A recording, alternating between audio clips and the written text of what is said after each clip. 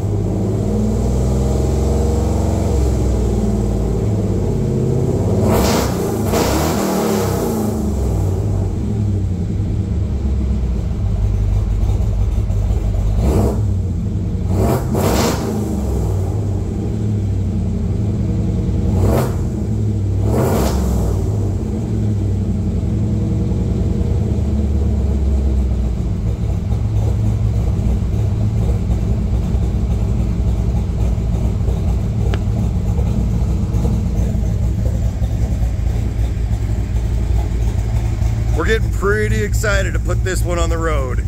So, just figured I'd give you a taste of what yours should sound and run like.